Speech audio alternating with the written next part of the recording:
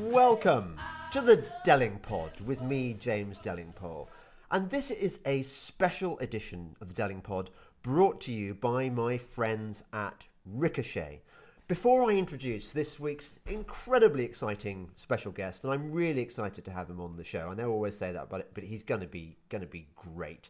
I want to just briefly ask your your support in in helping me keeping the podcast going by supporting me on Patreon or and or by buying a special friend badge. You can find out the details A on the Ricochet website or B at my own website which is delingpoleworld.com Delingpole, D-E-L-I-N-G-P-O-L-E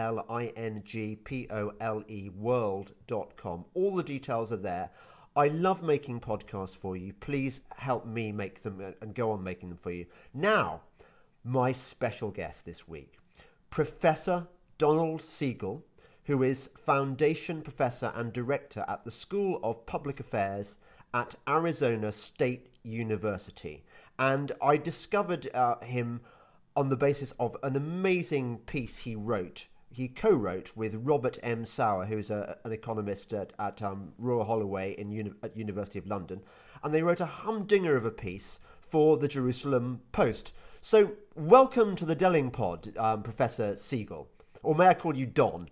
Please call me Don. Thank you. Don. Yes. I loved your piece please will you just just tell uh, tell our listeners what the the piece was about? Well, the, the, we are in the midst, Jim, of the grandest social experiment in history. And it's been designed by public health officials, right? And we are unwilling subjects of in this grand social science experiment. And uh, one of the points that we made in the um, piece is that when you conduct a social science experiment, you are obligated by law to get the informed consent of your subjects. And we have not provided our informed consent because we haven't been informed about the true costs, duration, and risks associated and even the benefits have been a little unclear as well of this so called project. So it, it is unethical in many ways, the process by which these draconian policies, and these are unprecedented draconian policies, never before in, in history has a healthy population been quarantined on the you know to on the basis of some theory right? Social distance theory, which is supposed to be the, what we need to do to so called flatten the curve. So we adopt these draconian, I would argue, un American policies uh, to achieve that goal. Now, now what's, what's actually happened? What's actually happened? The government has confiscated wealth, it has stolen private property it has developed this wonderfully Orwellian term you are either essential or non essential. I love that. I mean, I wish Orwell were alive. He, he, would, he would love that language. And uh, if you are in a so called non essential business, you cannot work in that business or you know work opportunities are limited and if you're a business owner your property has been confiscated and you have been prohibited from running your establishment. So th- this is the nature of this uh, social experiment. And the other thing that we pointed out in the article is that uh, there's another pernicious f- uh, force at play here, which is the crazed media, which is sensationalizing the spread of the virus and vastly over- overestimated the potential damage that the virus could create. If you turn on a television, and even Fox News, to be honest with you, 100% of the coverage is about the spread of the virus and how we have to, you know, work to stop the spread of the virus. They don't talk about the negative consequences of these draconian policies. That, that, that doesn't seem to be of interest to the media. Uh, and then, of course, yes. you know, for a while they were kind of telling us that uh, look what happened in Italy uh, and we have to avoid that. And we need these draconian policies to, um, you know, to avoid that situation. Instead of looking, as they should have, at South Africa, I'm sorry, South Korea. Uh, so we, we had a choice. Uh, now, in the article, we didn't say that we shouldn't engage in social distancing. But we had two choices, I believe. One was to rely on individuals and organizations to adapt their behavior, as they did. They absolutely did. I work at an institution that has adapted to this crisis very effectively. And uh, other individuals and organizations have voluntarily adapted their behavior. And uh, it, you know, it, it probably would have worked as well as these mandatory restrictions uh, that are being imposed, this widespread shutdown. So we, we said there was an alternative, but policymakers chose instead to listen to these single minded public health officials who only have one goal in mind and do not care about the other costs associated with these draconian prob, uh, policies. And of course, they don't care about the fundamental assault on our civil and economic liberties. So that was a point we made. We also drew on uh, Kahneman's availability entrepreneur theory, uh, availability cascades, uh, which kind of explains why we've adopted these draconian pro- policies. And then we argue that we need to consider all both the intended and unintended consequences of these draconian policies. And, and we're seeing that now. We're seeing a massive increase in unemployment. Uh, we know that these mandatory stay at home policies and massive unemployment will lead to increases in domestic violence and suicide. Uh, and we had an option was to which was to address the problem, uh, you know, adopting some social distance policies, and, and, we're not arguing for eliminating all those, uh, but we, we should be able to address the problem at the other end. And um, so we argue that, of course, governments should adopt, uh, should, uh, you know, end these um, mandatory shutdowns. Uh, and the, the other really dastardly thing that, that's going on is that we don't know when this is going to end. You know, uh, we didn't put this in the article, but I, I think we're getting close to what economists call a sunk cost fallacy. So we've invested so much in this social distancing strategy, extreme authoritarian, Chinese style authoritarian uh, policies, that we will not be able to get out of this for a long time because flattening the curve doesn't end the spread of the disease. There's likely to be a second and a third wave of, um, of spread. So that, that's kind of what we said. And it's gotten worse since we've written the article. In my own state, uh, the governor has decided to extend the shutdown for another month in the face of 20 deaths in the whole state. Um, and by is extraordinary. well, some of these death figures have been overstated because, uh, but but anyway, um, the, the other uh, we uh, Rob and I got an email yesterday from someone in New Zealand, which has 780 cases and one death, and they've shut down their country as well. So. Uh, this is just the single worst public policy decision and, and, and kind of strategy that I've ever seen in my life. Yes, and I imagine you've been around the block, Don. I'm not going to be so rude as to ask your age, but but I mean, you must have seen a few examples of stupidity in your time. Well, I'm 60 years old, but uh, we had a choice. We could have, uh, you know, and I think other countries are starting to realize this.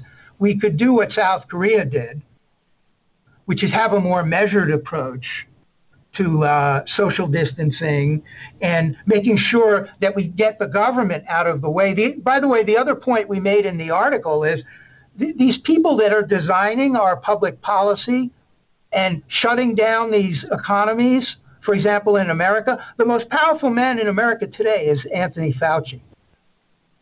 right? Yes. Because he is he has convinced policymakers that we need to shut down the American economy, and um, he has actually said that he wants us to overreact. He's actually said that. He's admitted that. That when this is all over, he hopes that people say that we overreact. Uh, he, by the way, just published an article in the New England Journal of Medicine, which you may have seen, it, and it concludes as follows I'm reading from this article that he wrote. This suggests, meaning his findings, that the overall clinical consequences of COVID 19 may ultimately be more akin to those of a se- severe seasonal influenza in parenthesis, which has a case fatality rate of approximately 0.1%, or a pandemic influenza, uh, similar to those in 1957 and 1968, rather than a disease similar to SARS or MERS, which had uh, larger fatality rates. So we're overreacting and we're getting advice on how to formulate our policies from the Center for Disease Control.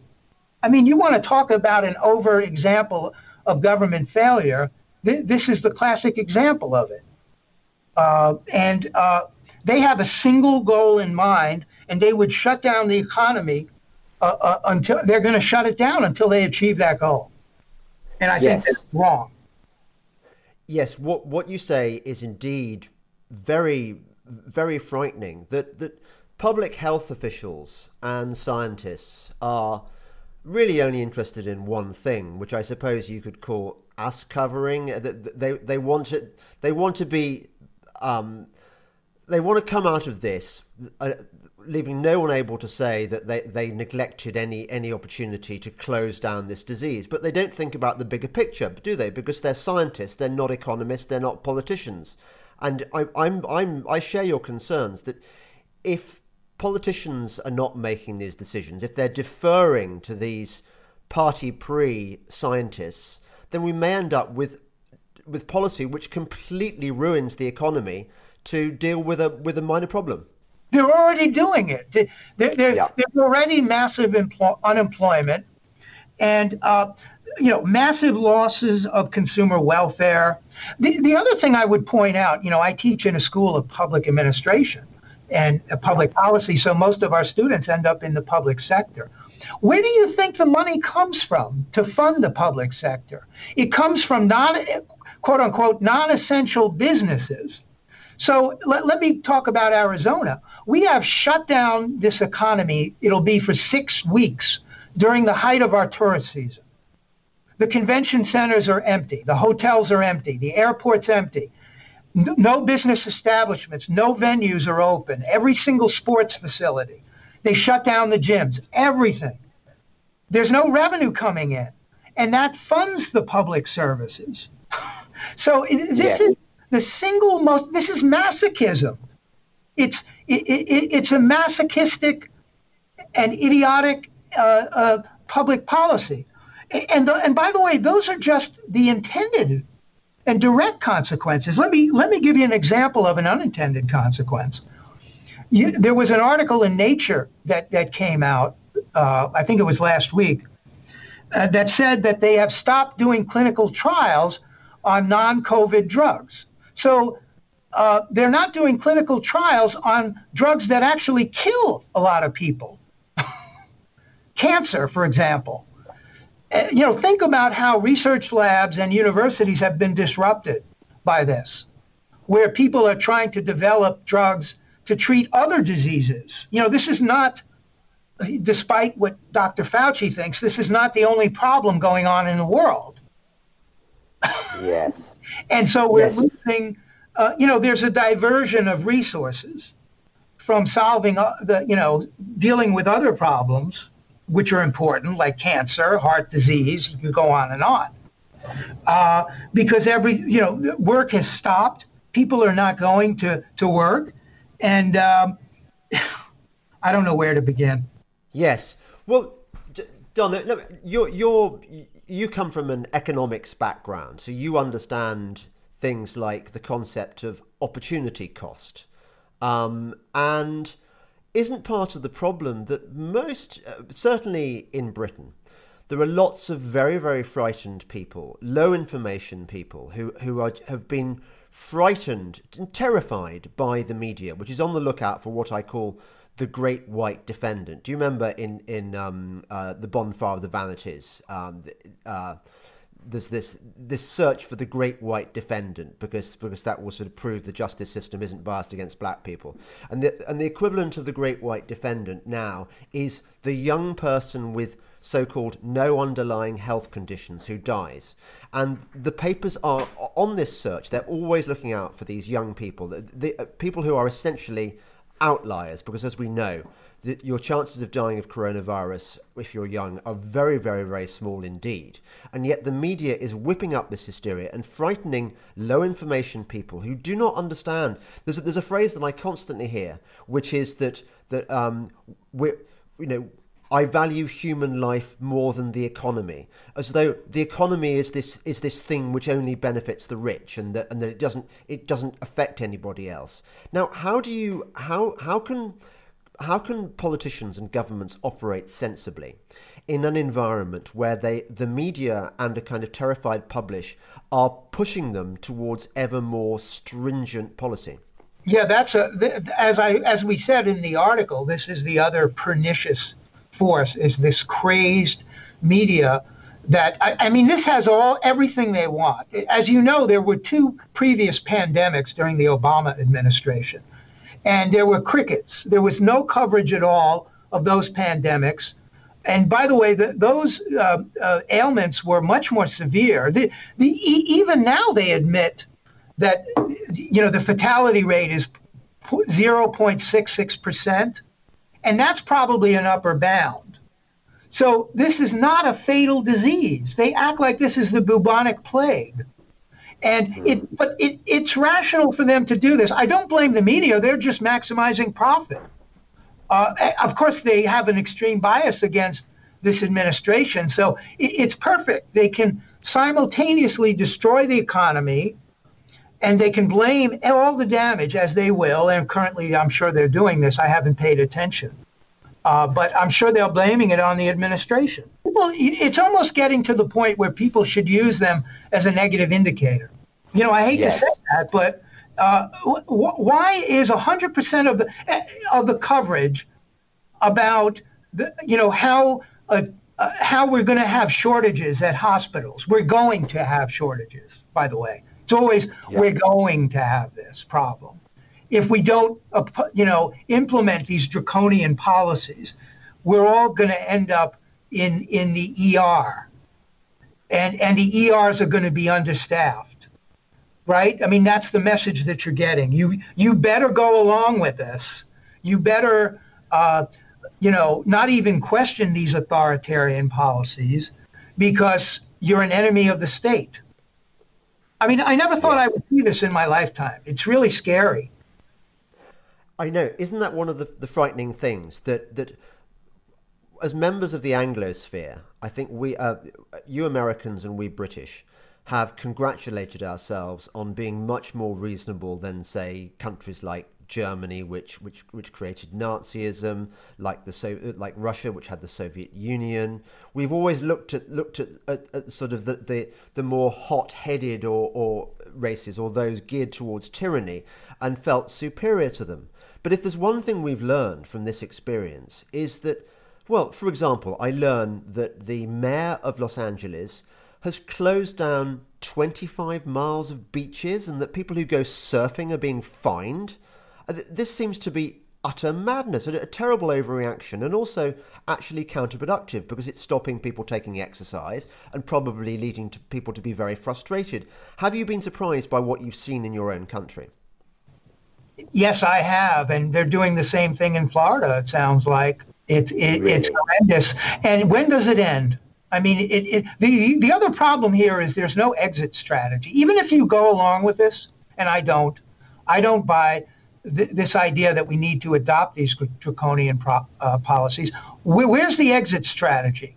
When will these public health officials be satisfied and, and let us go back to normal. And I think it's going to be a long time if we keep relying on their misguided and um, maniacal focus on uh, on this uh, on this ailment.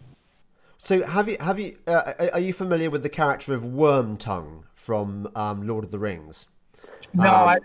no. Okay. Well, well, Wormtongue is this is this grisly agent of evil who who who smooth talks the king into really bad bad policy. And I think in this scenario, Dr. Fauci is Wormtongue.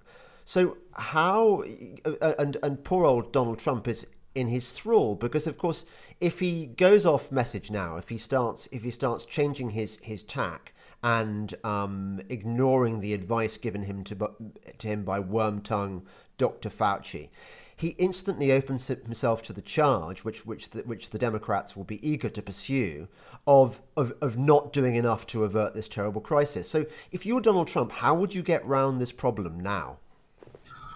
Oh, it's a tough one. You know, I, I would try to explain, and, and it's it's always hard to rely on rationality. There, were two approaches here.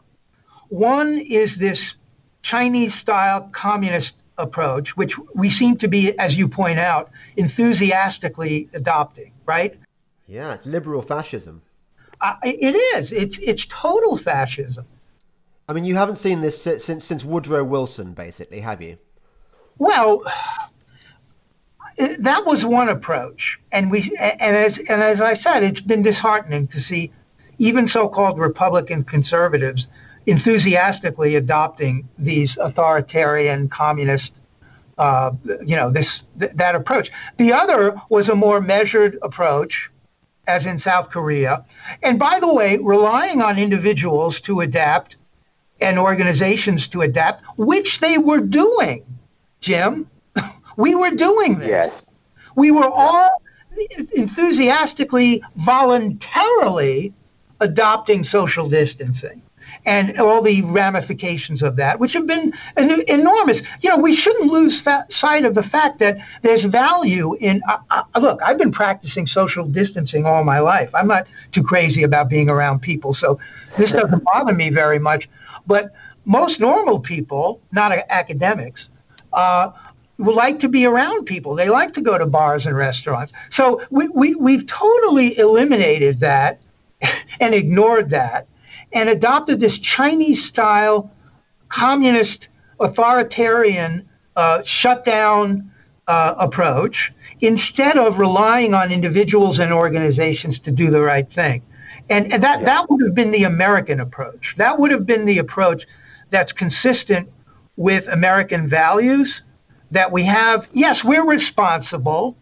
And, and I think you cannot say, and this is why I applaud, you know, Trump and, and, and, and even the folks on Fox News who I think are misguided. They're trying to be responsible, Jim. They, they want to do the right thing. They're patriotic, but they're following the wrong plan. They're following this Stalinistic, authoritarian plan, and they should have uh, developed a uniquely American plan. Now, do you think that Trump can explain that to Americans? I don't know. That's the problem. Yeah.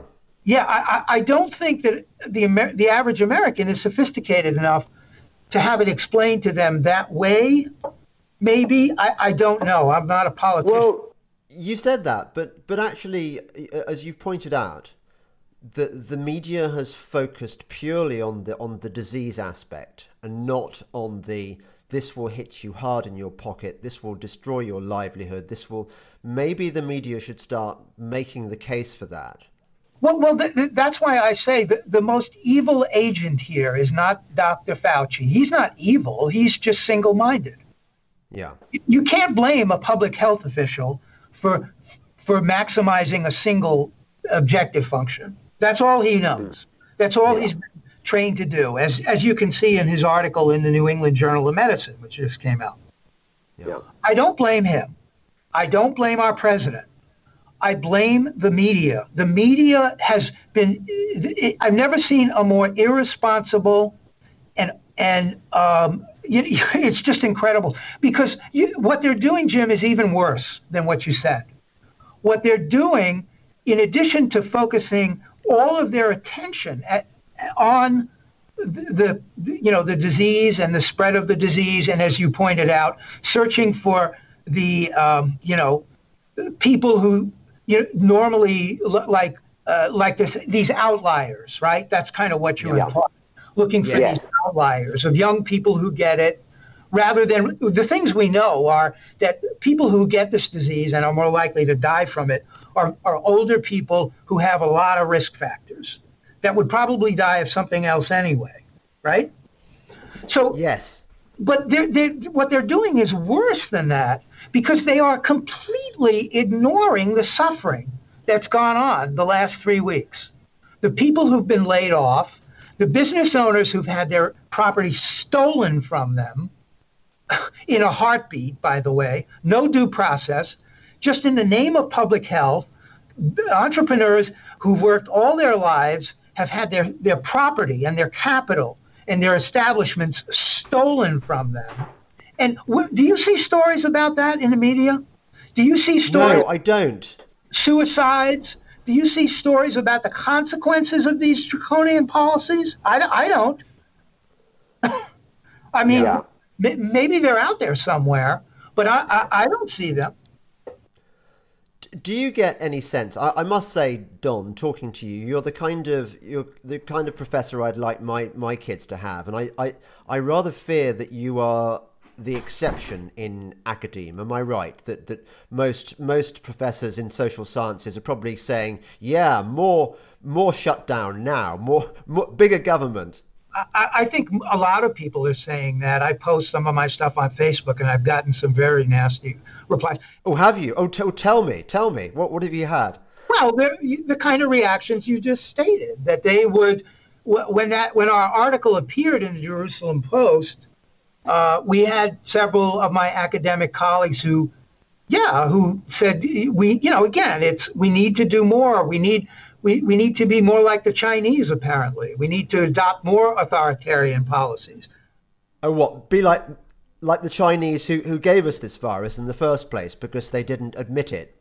That's another issue. The timing of this is really, uh, yeah, but but I'm not a you know I don't I don't know about that. This is really strange. No, but can I ask Don? Did lots of people say to you that you didn't value human life? That that yours is the kind of heartless attitude that really we can do without, and actually every human life is important, and we should focus on that.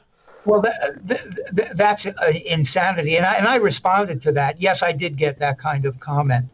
So, what's your response to that? Well, first of all, we don't spend uh, $20 million or whatever the money uh, sum is to save a human life. We just don't do that. Economists have looked at the cost of saving a life, uh, and public policies don't justify that. I mean, y- you may think, you know, it, it's politically correct to say that every life is precious. But we don't implement policies that uh, are enormously costful.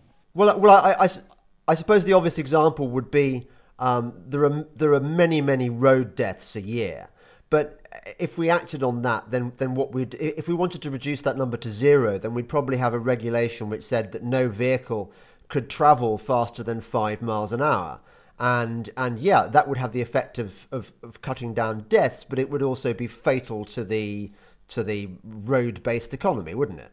Well, you know, what we teach in economics is the importance of trade-offs and decision making. Yes.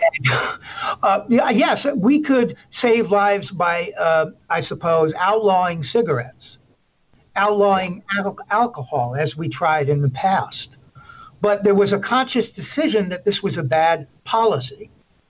And so, uh, you know, in the case of prohibition, for example, right? Yeah. So yeah, um, but yeah, I might get. I'll, I'll, be honest with you. I may need to. I mean, I may need to go into the witness protection program after this interview. I wanted to ask you about um, more about as an economist. Tell us more about trade-offs because I think a lot of people don't quite understand what this means. Well, I, I, I mean, in considering the uh, the costs of imposing this these draconian policies, we we have to be honest about the consequences of imposing these policies, not just the direct consequences that we talked about before. Uh, well, you know, by the way, the, the other thing that needs to be mentioned that we didn't mention yet is how dangerous this precedent is. Uh, that now that we've established that when there's a pandemic, that it's okay to take away people's property and to shut down and their liberties, of course, and shut down industries. This this is going to continue to happen. We've now set a precedent for that. Mm. Uh, but no, th- there's all kinds of trade-offs here, uh, because what we're not we haven't considered is where the revenue is going to come from to pay for the public services, right? Including public health, by the way. Dr. Fauci's salary is funded by people who work in non-essential industries. Well, there's one thing we can cut straight away then, rather usefully, I think. If we cut Dr. Fauci's salary, then maybe that would get us out of this mess. Well, I, I don't want to demonize him. He's just doing his job, which is to focus yeah. on single objective function.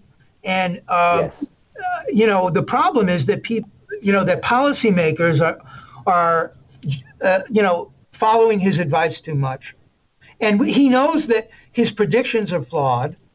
As Professor Epstein has, has pointed out, the behavioral assumptions behind these models are horrendous. They assume that individuals and organizations are not going to be able to adapt and innovate, and that we won't, uh, that doctors can't develop better treatments for this disease. You, you, saw how much resistance there was when Trump pointed out that uh, there's an, there may be an effective treatment. Yeah, chloroquine. Yeah, well, and there are others out there that are trying to develop these things, which of course would further reduce the severity of, of the disease. So it wouldn't be yes. such a deal. Do you do you think that there is some element within the the, the left which actually sees this this crisis as an opportunity and actually has no interest in it in it ending anytime soon because they are advancing all their leftist objectives of, of, of bigger bigger government. Well, I'd rather not weigh in on that, uh, but I'll tell you that the timing is uh, pretty amazing. It really is. At a time when our three weeks ago we had the strongest economy in the world. As a result of this ridiculous, as we as we said in the article, this grand social experiment we have destroyed the American economy. We have destroyed it. And uh, I don't see the exit strategy here. I really don't. Are, are you getting any far support from any of your fellow academics? Because, uh, I mean, your piece really stood out, but surely there must be other people saying this stuff. There are, and, and there are even some, you know, some economists are saying, listen, uh, we have to be honest here. There, there has to come a point where where we say, look, these policies are choking off economic growth, and there are lots of unintended consequences. I mentioned the one before, which I think of as very serious: the fact that we're not developing drugs for other diseases, for example, or uh, you know that innovation is slowing down because of this. Uh, but there are lots of other unintended consequences that we, we're not even aware of yet. Not to mention the suicide, not to mention domestic violence, not to mention the fact that people are going to lose respect for the law. I mean, th- there's a possibility of civil unrest here. Yes. I'm not going to stand for this, especially in ah. states. Well, th- this is the other dynamic that tr- that troubles me is the, the, the media is trying to send out this message that we have to all engage in shared sacrifice right? I mean, that's the message yes. I'm getting is that if things are terrible in New York City, then they have to be terrible everywhere else in the country. Yes. And if they're not terrible, then we're not doing enough to contribute. We're not sacrificing enough. The American people have sacrificed a lot already. 30 million people out of work, entrepreneurs and who've had their property stolen from them, businesses that may never come back. I mean, what what planet are they living on? We we've already. Do you have any? Do you have any explanation for this? Example of my own. I mean, I'm not trying to whine about uh, my sacrifices or my family's sacrifices, but uh, because I'm lucky. I have a job. I really am lucky. I consider myself lucky. And and my work at my work, we we've adapted. We've adapted to this crisis. But you know, my family moved here for two reasons. One, to be close to my wife's uh, father, my father-in-law, who's in a nursing home and is in really, really bad condition before the crisis. She can't visit her father. She hasn't been able, my wife hasn't been able to visit her father for the last four weeks. Uh, number one, we came to this area because this Phoenix has a charter school for autistic kids. Uh, um, and we, we were able to get our son in this charter school. That's gone for the whole um, rest of the semester. So all of those autistic kids who really desperately need to be educated physically, not online, they already do enough stuff online. Uh, th- th- that's been eliminated. Th- we've sacrificed that. So how do you quantify that? How do you quantify that? I don't know.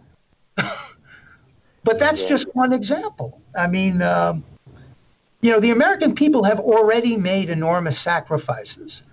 And we're willing to make more. We're willing to go along with some of these policies. I think most of us would voluntarily, and we have changed our behavior. But I think we're going down the wrong road, Jim.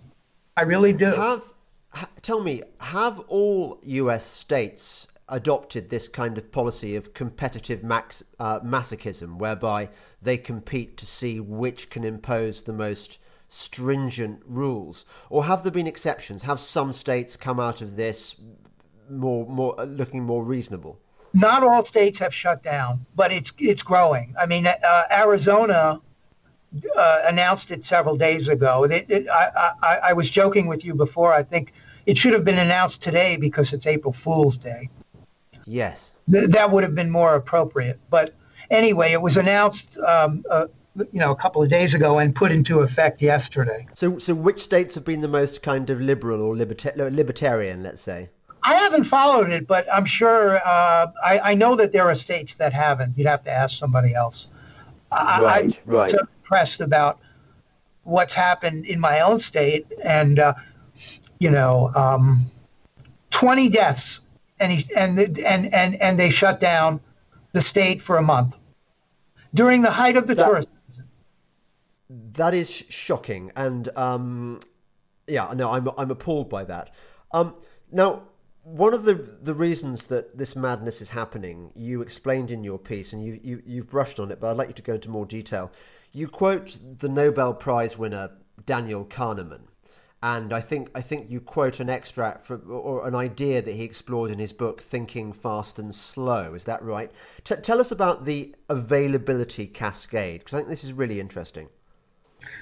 Yeah, the availability cascade is is a self-sustaining chain of events, and it's it may start from media reports of a very minor event.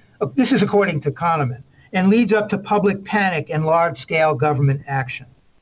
Uh, so uh, he points out that on some occasions you've got a media story about a risk, which is very attractive to some segments of the public. The public becomes aroused and worried, and this emotional reaction becomes a story in and of itself, which we've seen. That leads to additional coverage in the media. The media is trying to maximize profit here.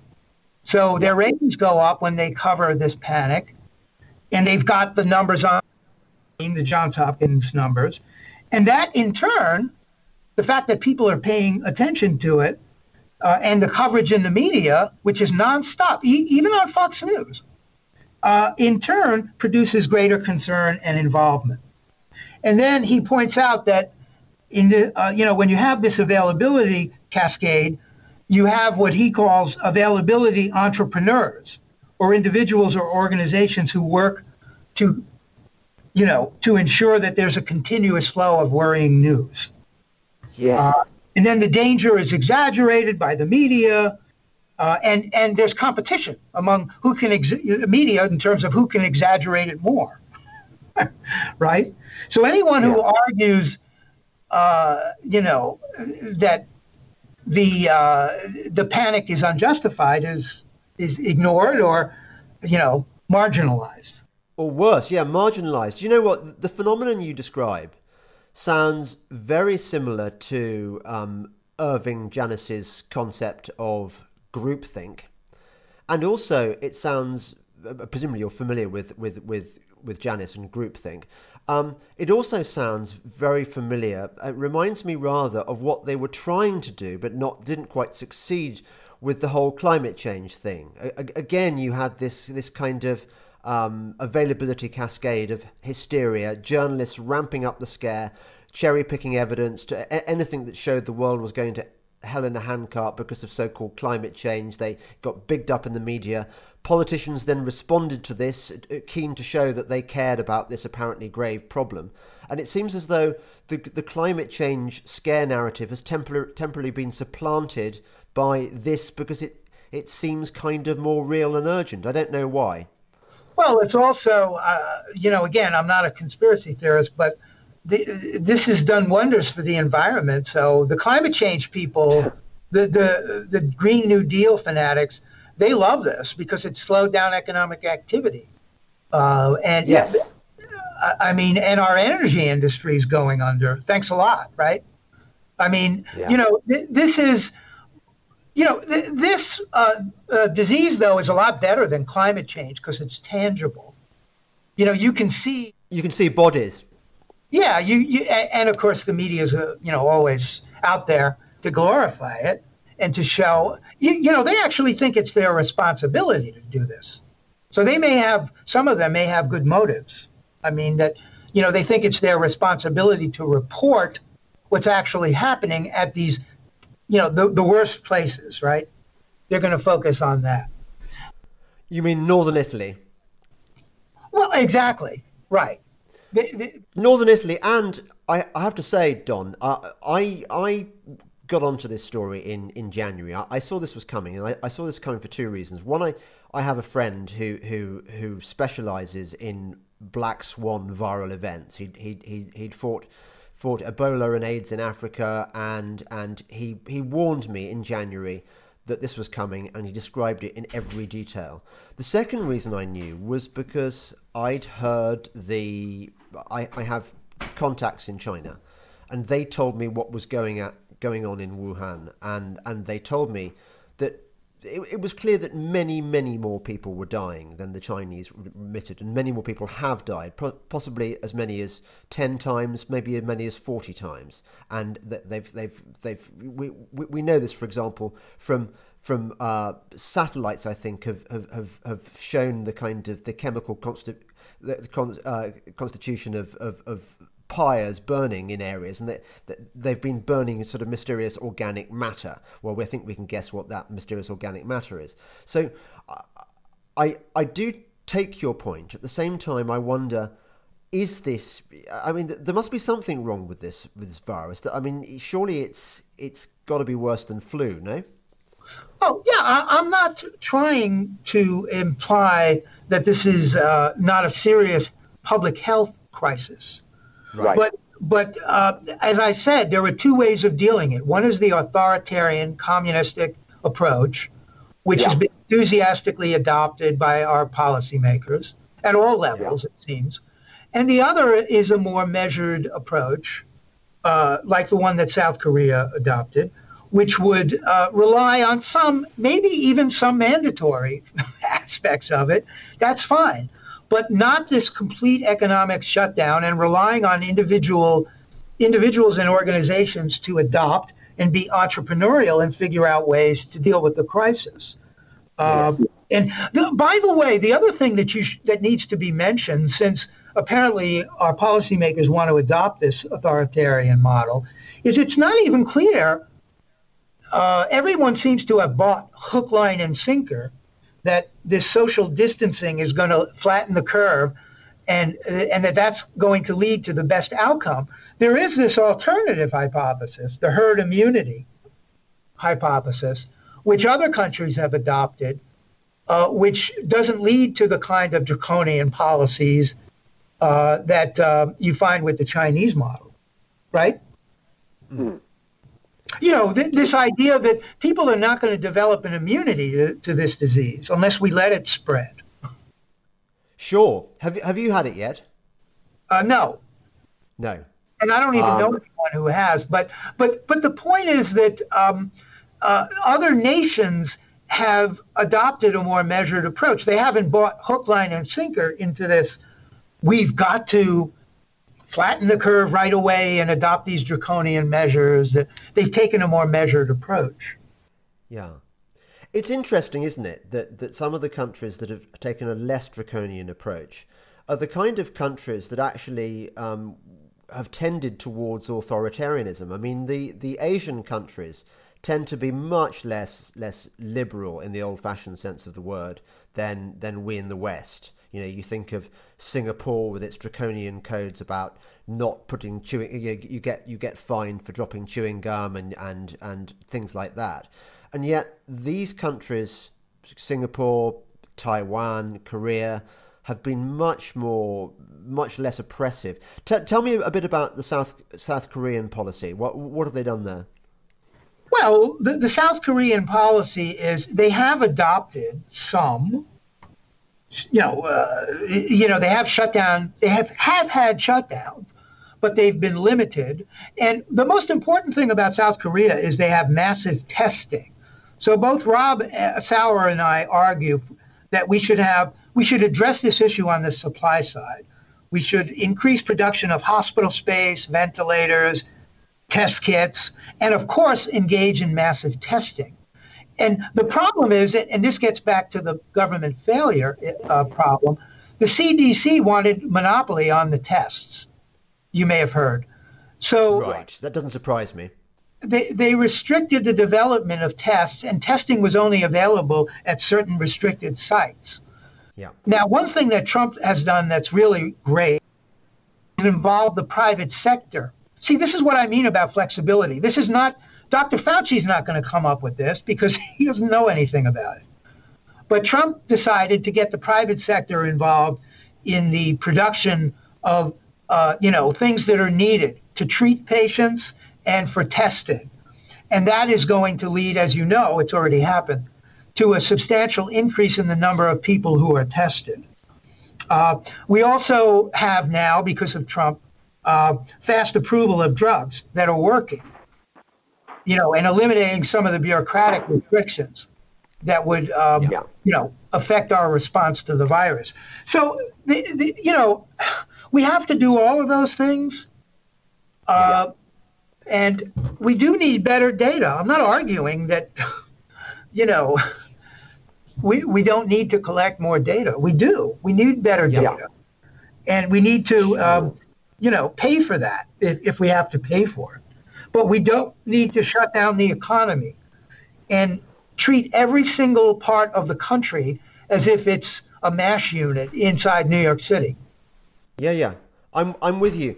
I I, I, I, um, I've already had the coronavirus. I didn't, I, I, I haven't had the antibodies test, but I'm, you know, ninety nine percent sure. I, I certainly had all the symptoms, and, and I must say, when you've had it, you feel very strongly that you ought to be allowed to go out into the world and, and get the economy going then, and also to help people. I mean, you know, we've got all manner of uh, of unintended consequences of this of this close down. For example, what about old people's homes where they can no longer get their their visitors because obviously they're terrified of the old people being infected. But but if if if there was an efficient antibodies test, those of us who are have a degree of immunity could go out there, get the economy moving again. Well, that's another issue. Uh, but but if you look at the numbers, the, the, the, the numbers are not very high. The number of people, you, you, know, the number of people, the number of cases is what about two hundred thousand in the country now. Well, that's measured cases. We, we just don't know. I mean, the, the, the, research by Oxford University suggests that as many as 50% of the UK population may already have had it. Because lots of people, lots of people, anecdotally, are reporting that they've had the symptoms. They had them as early as December. Um, I had mine in February. Uh, we know that, that the under 20s are often um, asymptomatic. Um, I'm sure all my family have had it. You know, but when I was peak infectious, I went up to Durham University to speak in a debate. I then I then mingled at student parties reluctantly because I was feeling rotten. I then drove back for four hours with my kids in the car with the windows closed. I mean, if they weren't infected by me when I was peak infectious, I really don't know how they could have been infected. I mean, I, I, I just suspect that it's far more widespread than we think, which is good news in a way, by the way. It's extremely good news. Of course, you don't hear any good news on the on the reports, the media reports. The the, the no, it's just maniacally focused on flattening the curve and reporting, you know, all, all the deaths and uh, all the bottlenecks that occur. Um, you know, e- e- even before we move down the road to socialized medicine, you can imagine what it would be like under that system. So you're a public policy expert. Um, tell us what we should be doing. What's what would be your dream scenario? Well, my dream scenario is the one I mentioned. Is is yes. Uh, let's assume that there's some merit to this social distancing. Let's have let's continue, uh, you know, with individuals and organizations voluntarily adopting this policy. That's not going to change. That's not going to change. But we need to, well, we need to first of all have an exit strategy. Our politicians need to tell us when these shutdowns are going to end. Uh, you know, it's too late because and in most of the country, the shutdowns have already begun, have already began, right? So they, they yes. need, and we need to hold their feet to the fire. And I'm not sure how we do that because they've assumed these dictatorial powers. But I am yes. not in favor of these mandatory shutdowns. Uh, uh, there's no way to justify that. Um, and uh, I, I, can't advocate it. But um, you know, I, I, so I think we should we should ease up on that, and um, you know, spend money where we need to and target our resources to those areas that are most affected by this, and deal with the you know supply side issues. Uh, and um, and we argued that in the article. We also need to make sure that everyone gets tested, right?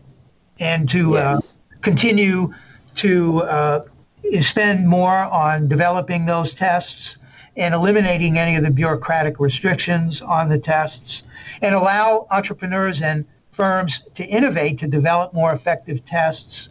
It looks like that's happening already. But we, we need, you know, the, the government has just, um, you know, uh, enacted this so-called stimulus. What we need is for the government to get out of the way. You know, the, what the government has done is shut down industries and created mass employment, unemployment. And you know, we've talked for a long time, almost an hour now, about the negative consequences of that. What we need is for the government to get out of the way. Yeah, I agree. Well, I was wondering whether, I mean, I know this is a bit of a fantasy, this is wishful thinking, but what we've seen is the expansion of government. But what we've also seen is some refreshing examples of red tape being cut. And I'll give you an example of this. When, when it first emerged that chloroquine was looking like a, a, a potentially promising treatment for um, for for coronavirus. And I, as I understand it, the reason chloroquine works is not is not because it, it kills the virus, because after all, it's it's it's not uh, malaria isn't a virus. Um, it's it's a parasite. But the reason chloroquine works is it's a zinc ionophore, which means what it does is it enables the cells to absorb zinc, and it seems that zinc is very effective in disrupting the, the, the messages sent out by the virus, particularly disrupting what's known as the cyt- cytokine storm. Anyway, President Trump was quick to pick up on this. You know, the, the, the, it had been tried in, in, in China, it had been tried in other parts of Asia successfully. I think most private doctors in the US now, a key part of their protocol is a combination of zinc and chloroquine.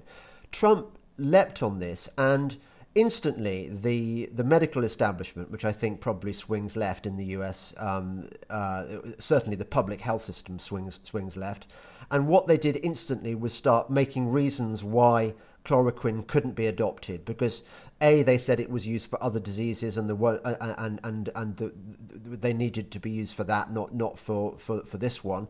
And another one was that it hadn't been. Um, it wasn't permissible for it to be used used for a non-malaria problem, and President Trump cut through that that red tape, didn't he? He did, and I mentioned he that fast tracked it. Uh, and it's we're seeing the results of that. Well, there's, you know, you asked for our recommendations. Uh, first of all, there has to be an exit strategy. We need to hear an exit strategy. I don't want to yes. hear Dr. Fauci uh, or the public health officials again about, uh, you know, because they don't know how to formulate an exit strategy. No, they don't. It's not their game, is it? It's not their area of expertise. I love that phrase you use. I'm going to keep using it. Single objective function. That's all that. That's all that these kind of public health experts and and uh, epidemiologists and and and so on. That's all they care about. Their single objective function. They are incapable of thinking about the bigger picture. And God bless them. They don't know how to formulate an exit strategy. They don't even understand the consequences of what they're proposing frankly. Yeah. They don't understand the economic, the psychological, and the sociological implications of shutting down. I mean, they, they kind of poo poo it, right? They act like they're doing yeah. us a favor, for Christ's sake, this yeah. guy. Well, maybe we'll lift it. You know, maybe we can lift this. Maybe a month from now. Yeah, who died and left this guy? I mean, where did the, where does this power come from? I mean, it's incredible. But so no, I would say to President Trump, we need you to formulate an exit strategy. And uh, Professor Sauer and I believe that the most important steps to take to facilitate that exit strategy would be increased production of hospital space if needed, ventilators, test kits, massive testing, and all four of those things have already involved the private sector. So I give the president and his administration a lot of credit for at least having the flexibility to get the p- private sector involved in the production of the ventilators, the test kits, uh, you know, massive testing and you know test procedures, and in the production of hospital space. Even you saw that um, Franklin Graham and you know his organization has been involved in that, and making sure that drugs are approved quickly that can effectively yeah. treat this disease, which, by the way, I keep emphasizing this, you know, it, it, it, we know that the uh, fatality rate is extremely, extremely low. And we're acting yeah. as though this is the bubonic plague. So yes. that's what I would propose. But absolutely, immediately ending these mandatory lockdowns. Yes, I think I think you'll probably agree that President, this is this is not something one normally needs to tell President Trump, but I think he needs to grow a pair, doesn't he? I think he needs to he needs to find it within himself to overrule all those siren voices who are urging him towards caution because because reasons, and and he has to get the economy back going, get get America, get the world back to work by example. We have no civil society without a thriving economy. We have no revenue to fund public services without a thriving economy. So, what we need from our, our president is an exit strategy. What is the exit strategy? Uh, and how do we get the economy moving again? And we've heard enough from the public health officials. Uh, we know that their models are imprecise. And we know that we don't, they even admit that they, they're imprecise, and they even admit that they want us to overreact. And we shouldn't be formulating our public policies strictly on the basis of advice from public health officials. Yes. Just, just as um, finally, before we go, um, imagine if I were one of your more obtuse undergraduates and I came into your class and I said to you, I think that lo- people's lives are more important than the economy. How would you explain to me that the economy was actually sort of kind of important? Well, you wouldn't what think would you say? explain that. I mean, people are learning. I mean, one of the unintended consequences here may be, may be that our young people are learning the value of freedom and liberty. Think of how many restrictions there are on what people can do. I got up this morning, and because our governor had declared uh, some kind of uh, emergency shutdown, I could not go into my workout facility in my own apartment that I paid for. I paid for this. People, right? This is a service that I paid for, and I cannot consume that service. And a lot of our young people have taken liberty for granted. And now they understand that the government can wake up one day without any due process, which, which I talked about, which Robbie and I talked about in our article. There was no informed consent.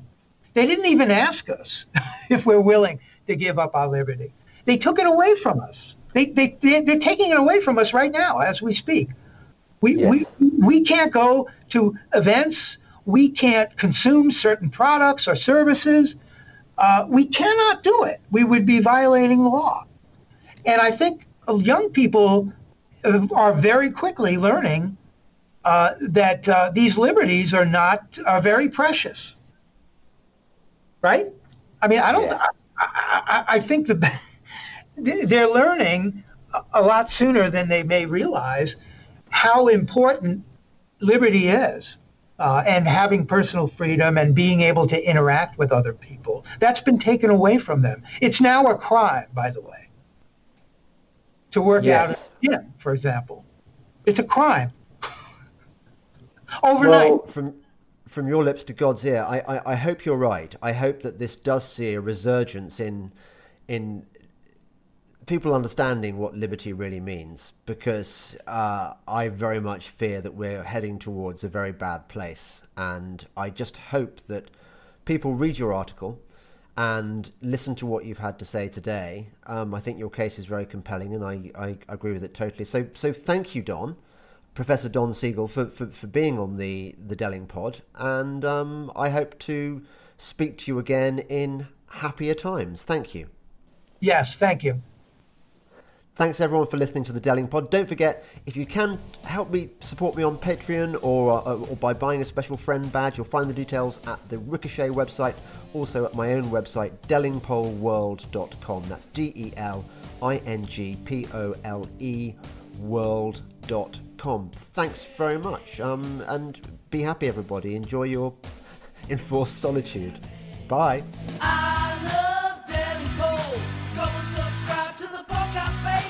Ricochet. Join the conversation.